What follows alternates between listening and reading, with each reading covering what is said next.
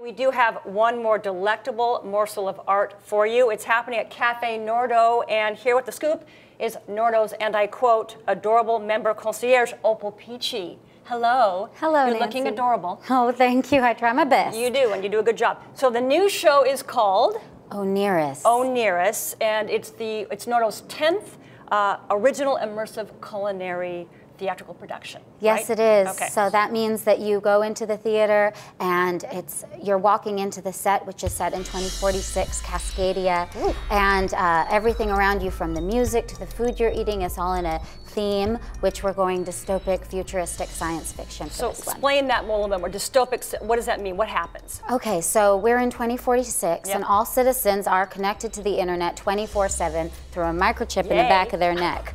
okay, I know it's hard to imagine that happening. Yeah, exactly.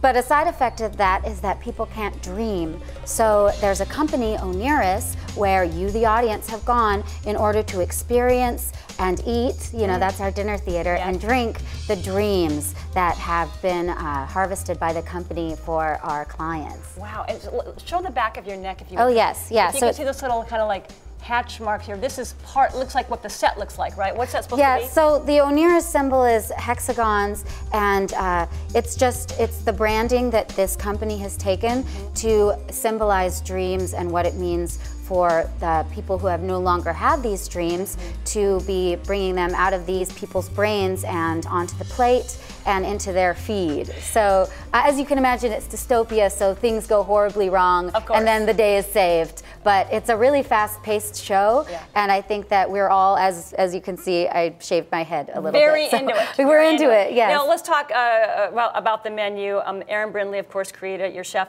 and you brought us something here, and I want to know what exactly. Yes, this is the orb of light, and it is the last course of the show.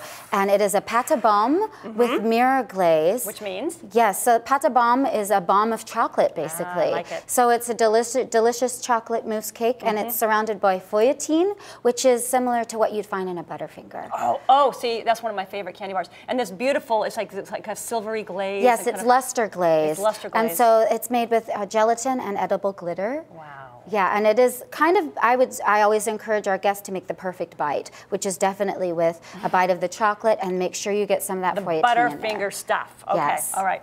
Well, I'm going to be diving into that in just a moment. Um, so you want to get your tickets. Oneirus runs now through November 19th at Cafe Nordo in Pioneer Square. Ticket information is on their website.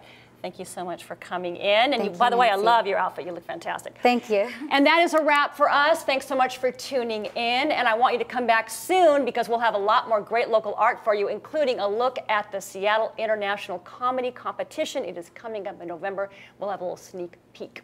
Have a great week. Okay, should I? Yes, absolutely. Here we go. Make the perfect bite. Okay, that. This is this is your future right here. this is my future. I got it. Yeah. I know there's a fork here, but I won't be eating it. No, you won't be eating it. Yeah, yeah. Oh, that's fantastic. I will share with you. That is so good. Wow. So it's a cake and some mousse. Yes, it is. Mm.